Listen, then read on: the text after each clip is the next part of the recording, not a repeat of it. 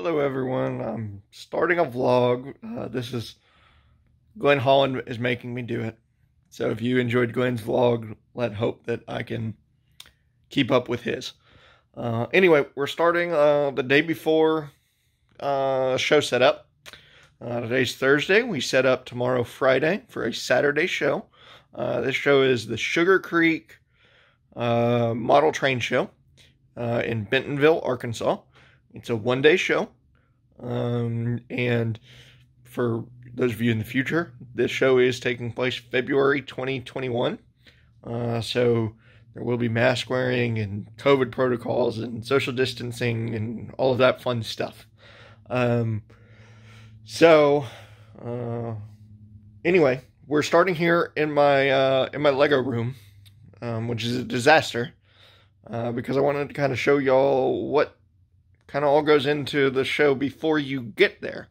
Uh, so back here is kind of my storage area, work area. I've got bulk Lego stored here, builds on this on this shelf.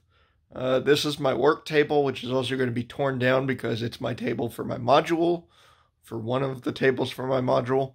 Um, so we got a bit of work to do. Uh, a lot of this mess is continually being organized, but there's more building than organizing that goes on here, so it is what it is. Um, other part storage is over here, where I have bins of sorted parts um, and leftover lunch, apparently.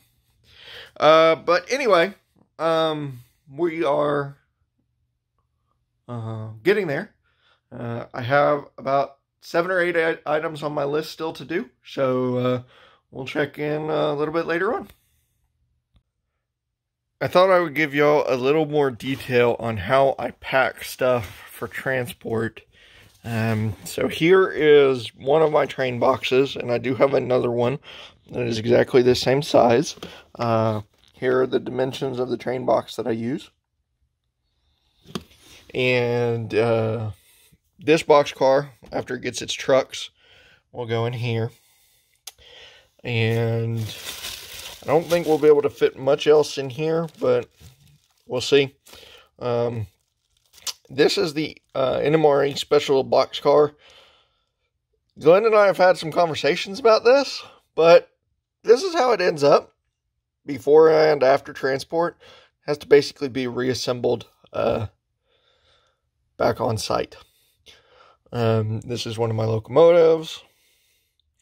Uh, I have another locomotive that's in the other train box that we'll be bringing. Um, yeah, and here's some of the other stuff that we're bringing.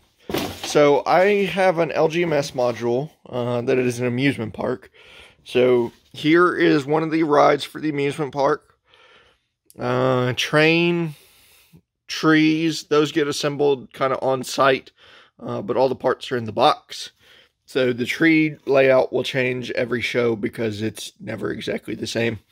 Uh, more scenery parts, um, trucks for an RV park that I have and that sort of thing.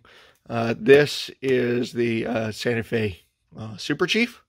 Um, it is in light bluish gray, not uh, old gray, but it works. Um, there's another box. This is one of my boxes that I bring that has all the important stuff battery boxes, batteries, USB batteries for charging my phone, and for running lights in the layout. Um, these are table risers. So for LGMS, we the way that we do our build is we use a standard pre-bought table and then the standard calls for the rail height is what's set. Our tables have to be raised two inches. So some of us use table right table screw legs built into the tables. Some of us use table risers, and you'll see those oh, later on in the video. The other question is going to be how do I move my modules? Uh, those I travel pre-built in custom-built cases. Uh, sorry, uh, those travel in uh, custom-built cases, and I will show you those uh, later on when we get those uh, loaded up in the truck.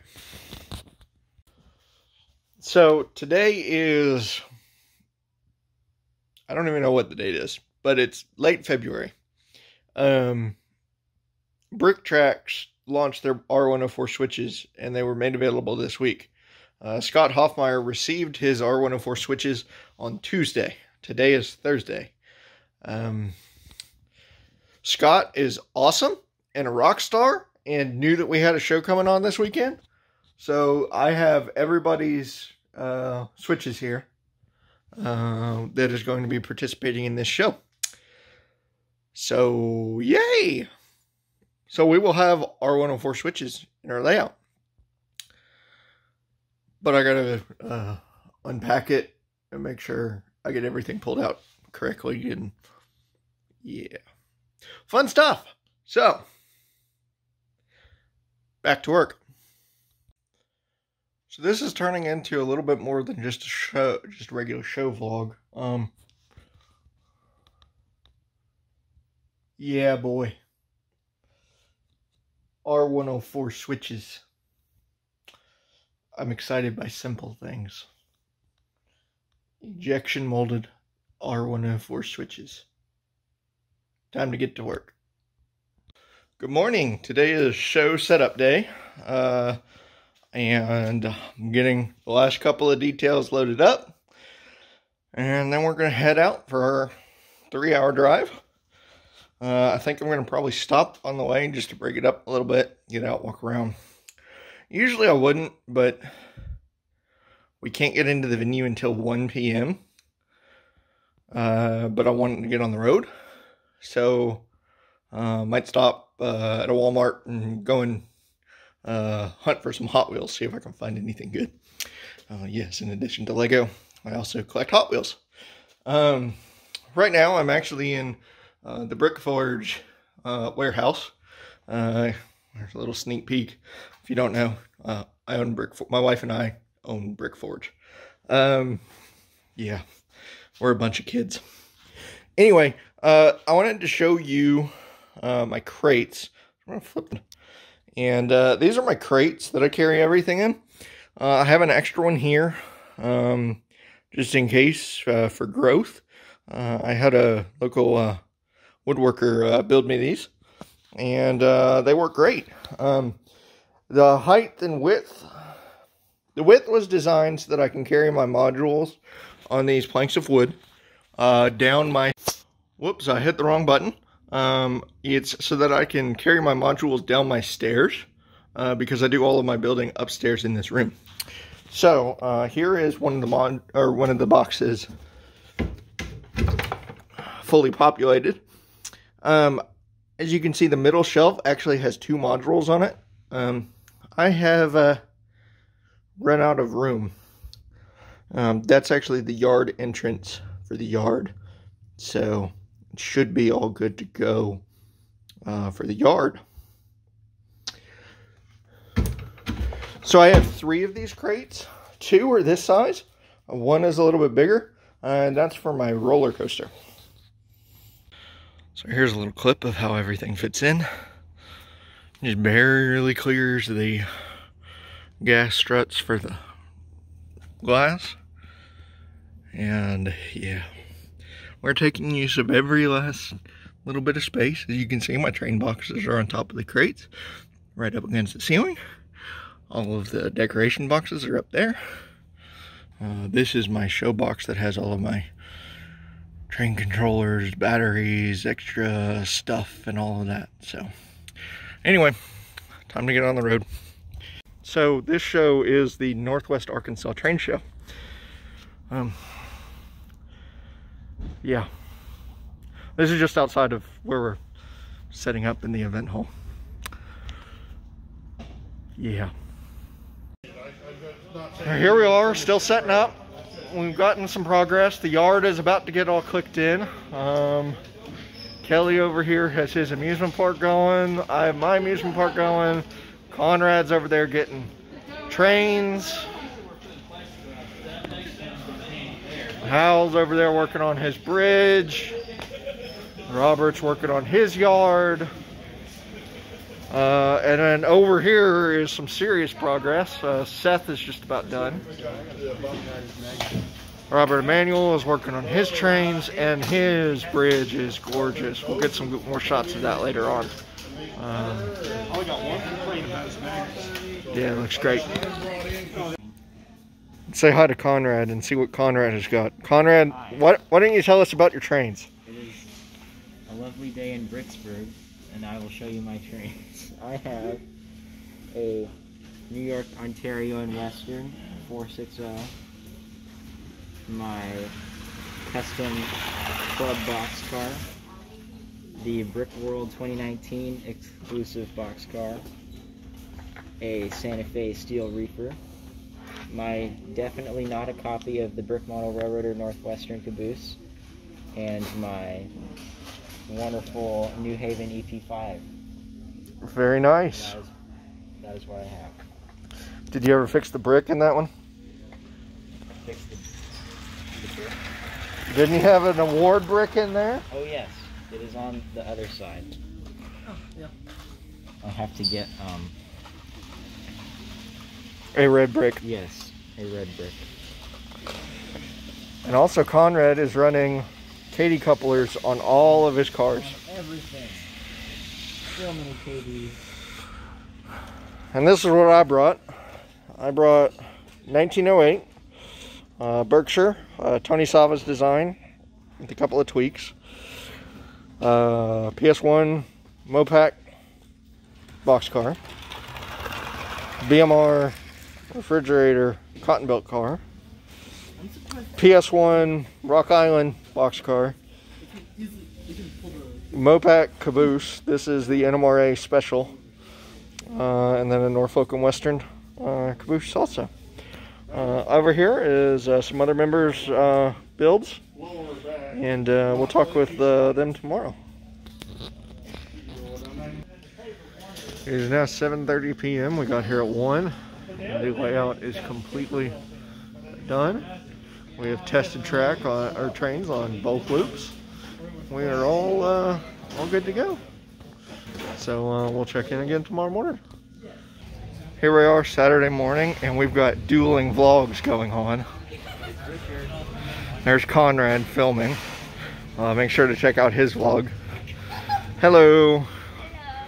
We're still pre-show hours, but we're all here. We're all getting ready. We're all getting woken up and getting the trains woken up. I woke up to a knee in the face in the middle of the night because of my brother.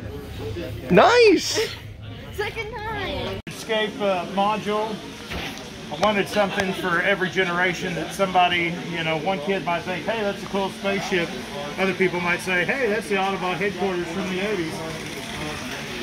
I wanted Mos Eisley Cantina, but I didn't, I wasn't able to get it. It's been sold out, so I needed something for this corner. So went with another 80s uh, reference, Rock-afire Explosions from Showbiz. Made some Bronc creatures. Michelle got it right. That's based off Olaf, Lumiere. Got the Cave of Wonders there. So just kind of a theme to tie it all together was Jawa tours. You can come here and get your own Jawa personal tour through the uh, desert scape. I love the scene from the uh, Mandalorian with the Krayt Dragon. That's been probably my favorite episode so far. So, but well, they came up with that cool Mandalorian set. You needed the dragon. Yup. So I made the dragon using some uh, Lego boat parts because I wanted I wanted the money shot for the little kids to be down the throat. Yes. It looks good. Well, anyway, that's kind of that's kind of the basis for all that. Cool. Public is here at our layout. Well, we're about an hour into the show and it's uh, a little busy. Uh, I expect it to get busier, but, uh, but we will see how it all goes. All of my freight is on his too. Interesting to see how much the two of them could pull together.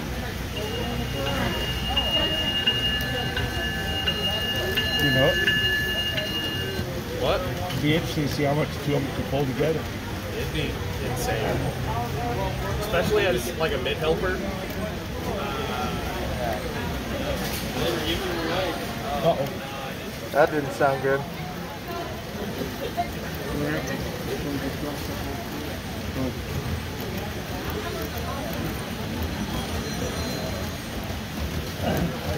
Uh, can I have some of my freight cars?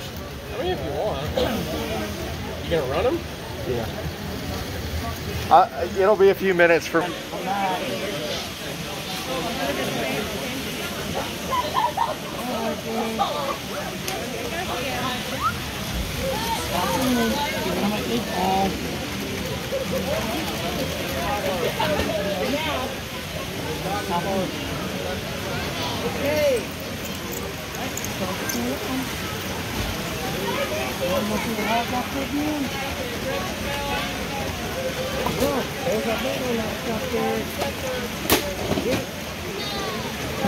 The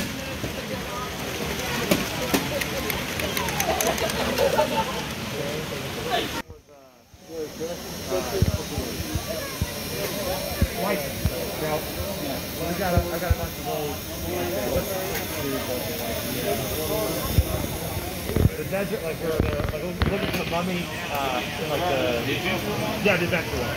If you, I, I, that's why I asked if it was because I see the, the like what was going on, like the the, mount, the spire and the yeah, very cool. Where did I knock this off on? Oh, it was a great idea. Yes.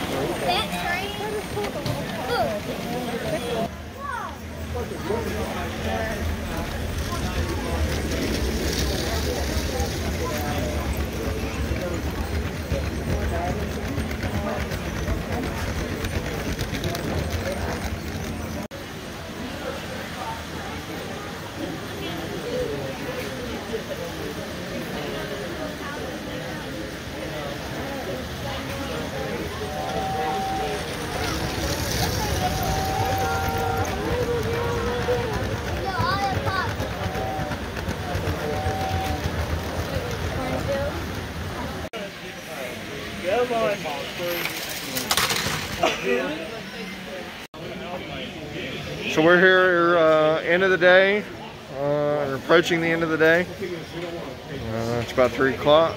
Hope you enjoyed some of the run bys from the trains and uh, enjoyed some of the uh, seeing the show. Um, I'm going to wrap it up here because cleanup uh, is always fun and fast and hectic. Trying to get out of here. We show's over at four. We have a three hour, or I have a three hour drive home that I'm doing tonight. So, yeah. Uh, so we'll uh, try and do more of these again in the future for any future shows. But uh, one last look at the layout.